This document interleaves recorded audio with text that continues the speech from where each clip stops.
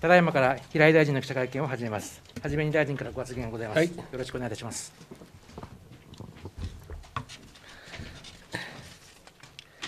えーまず私から2つ、まずですね、えー統合型入国者健康情報等管理システム、まあ俗に言うあのオリパラアプアプリの契約の見直しについてご報告申し上げます。あの契約見直しの調整を行いまして、統合型入国者健康情報等管理システムについて、昨日、契約変更を締結いたしました。で本システムについては、政府の主な見直し方針として、まあ、システムのユーザーは、アクレディテーションを有する選手等の大会関係者とする。大会関係者は原則として、査証の取得は不要であることから、査証申請にかかる機能は不要とする。海外からの観客の競技場への入場時の利用を想定していた、顔認証にかかる機能は不要とする。ユーザーのお規模の縮小に伴い、サポートセンターの規模も縮小するということになったものであります。でこれを受けまして、あの本システムは、えー選手と大会関係者向けに、えー入国時の検疫入国審査、税関においてアプリを利用して必要な手続きを行うことを可能とする。入国後、日々の健康管理情報をアプリで登録してもらい、その情報を組織委員会のシステムと連携する。帰国に向けた陰性証明書を取得可能な、医療検査機関の検索予約等を支援する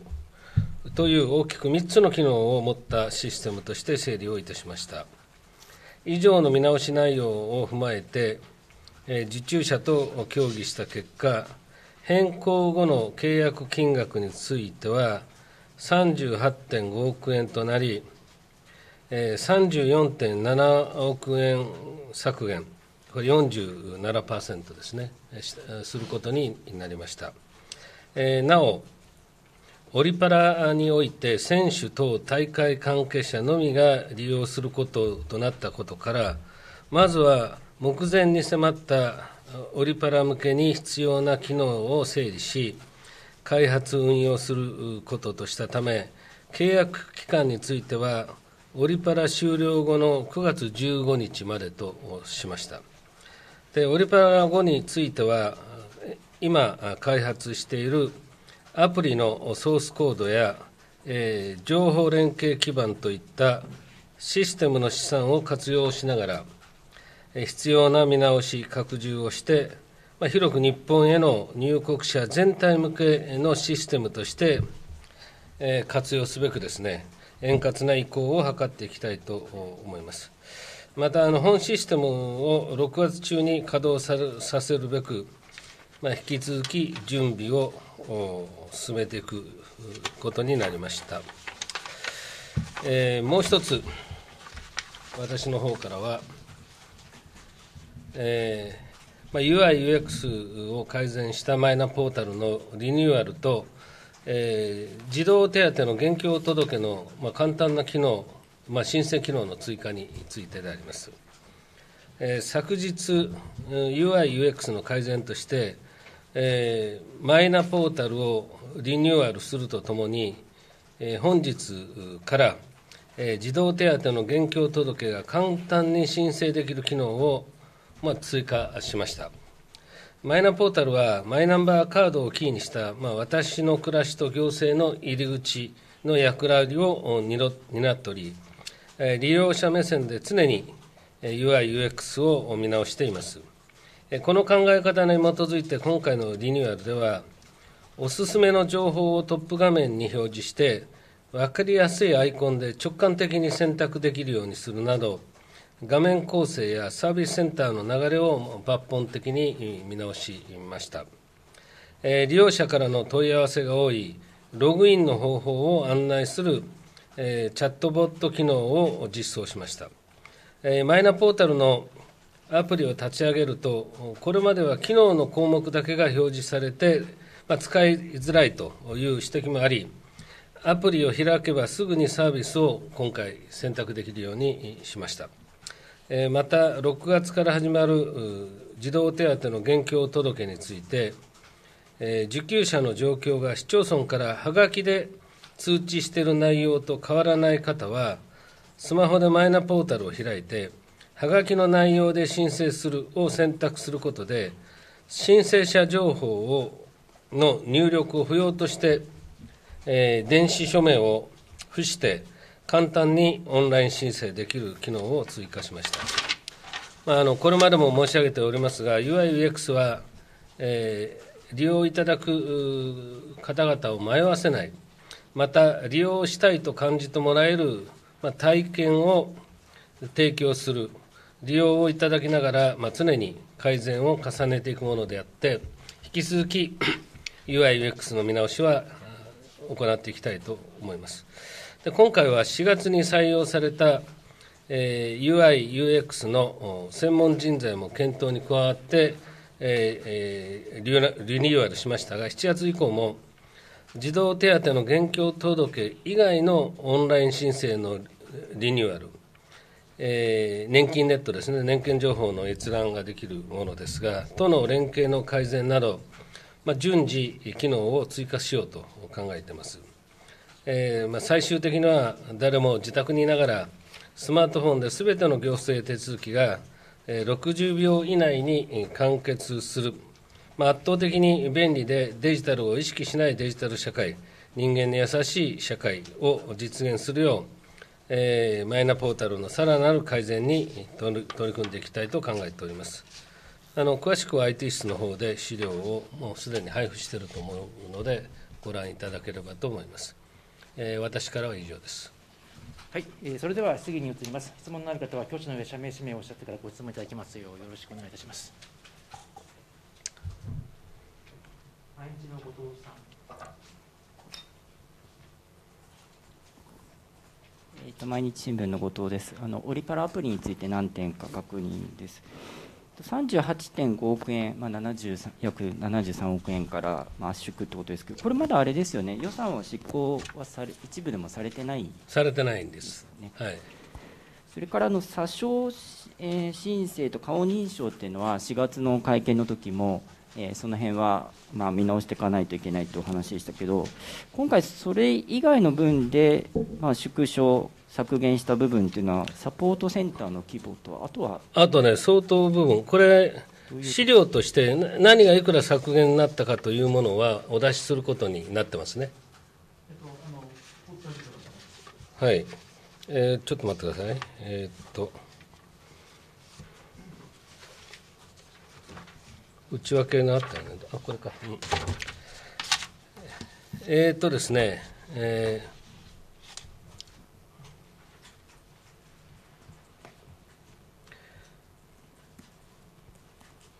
まあ、すべてに、その、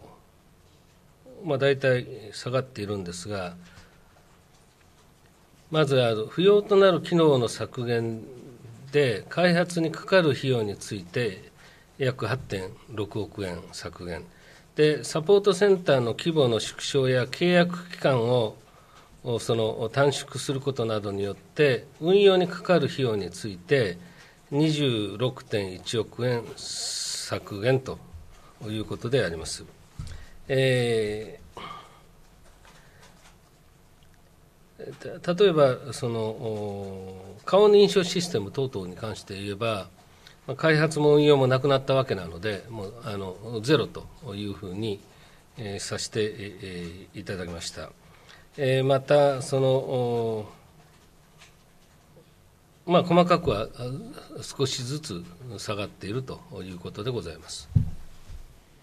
あの5月15日で一旦契約を終了っていうような話をされてたと思うんですけど、えーともともとこのまあ、アプリとかシステムはオリパラ後はインバウンドで使うっていうふうに使用書にも明記されてましたけども、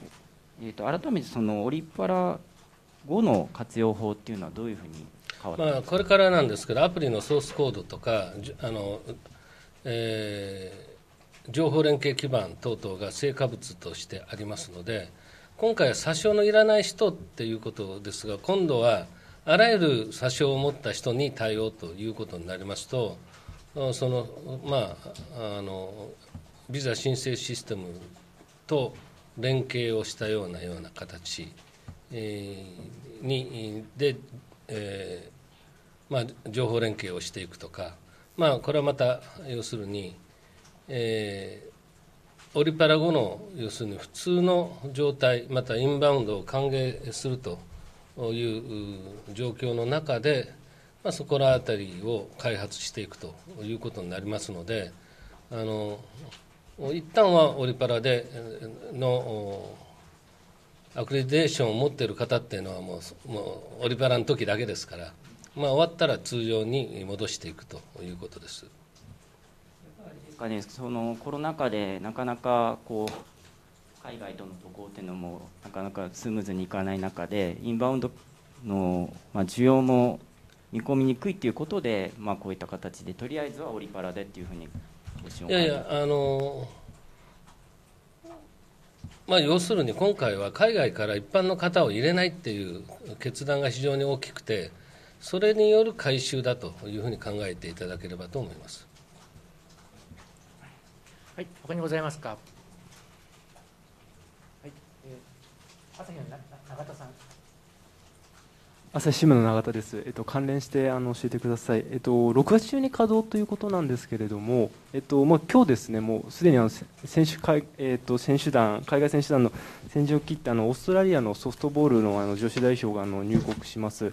えっとまあ、選手団のピークは7月ということで、ですね、まあ、6月中にも一定数の入国が予定されている中で、ですねその稼働がこの第一次に間に合わなかったこと、これはあのその機能変更によるですね交渉の遅れが影響したのかどうかということをお伺いできますあのスケジュールは遅れてません。であの今、システムの基本的な開発を終えて、順次、所要のテストにも入っておりますので、あの当初のスケジュール通りに進捗していると報告を受けております。はい、他にございますでしょうか？よろしいでしょうか？朝日の中島さん。すみません、朝日新聞中島です。あの私もオリパラアプリの件で一点をお伺いしたいんですけれども、先日あの民放の番組であの GPS 機能搭載されないというお話がありましたけれども、今後アプリ実効性が問われていくと思うんですがこの GPS 搭載しない中でこう実効性をを持たせていくという特にこう使い方とかでどういった点が考えられるかあのアプリで全て解決できるわけではなくて、まあ、今回はその組織委員会等々が、まあ、どのようにその、まあ、全体の大会を運営管理していくかというところが非常に大きいと思います。まあ、それに対してそのこのアプリはあの一定の要するに、えー、効果があると、あくまでもやっぱりそれはその大会の運営管理の問題というふうに思います。はい、ここにございますか？産経の高木さん。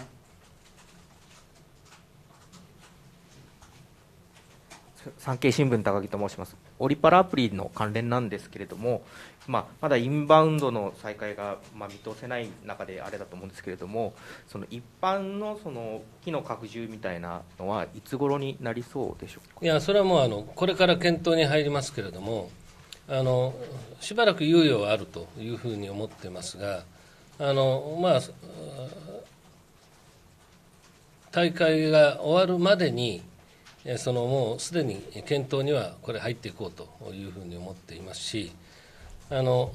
また新たなそのシステム開発ということになりますし、おそらくその部分は、あのこれからデジタル庁が担っていくプロジェクトになるように、まあ、調整するのかなというふうに思ってます。はい、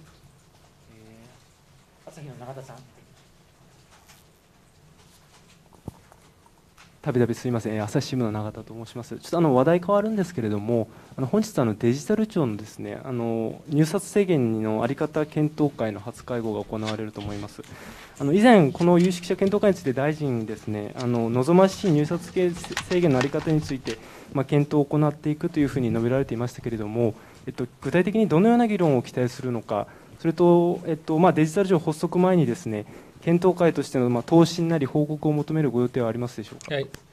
あのデジタル庁では多数の民間人材を、まあ、採用することを想定していますので、こうした人材がシステム調達にあたって、まあ、あの兼業するその、まあ、先の企業等に便宜供与等を行うことがないよう、公平性、透明性の高い入札制限ルールの在り方を検討するというのは、前もお話をしたところだと思います。また一方でそのアジャイル型のシステム開発など、新たな開発ニーズを踏まえて、幅広い企業が参入しやすい柔軟な調達制度の在り方も合わせて検討したいというふうに思ってます。で、まあ、そこで望ましい入札制限等の在り方について、有識者検討会を設置、検討していくということにして、まあ、あの水曜日ですね、6月2日に第1回検討会を開催すると。まあ、今後、複数回にわたり検討を行い、まああのまあ、夏をめどに取りまとめを行う予定です。まあ、あの調達に関しては、その他会計検査院からも、一社応札とか、そういう問題等々ありますが、まあ、一方で、ベンチャー企業等々にも、そういう可能性を広げてほしいということもありますし、まあ、割とあの検討しなければならないことがまずあるんですが、まだまずは一番あのやっぱ公平性、透明性というものをどうやって確保するかということ、今までも、まあ、IT 室も同様にやってきたんですが、あのデジタル庁はそこをもっとその厳格にやりたいというふうに考えています。他よろしいでしょうか？それでは以上をもちまして記者会見を終了させていただきます。ありがとうございました。はい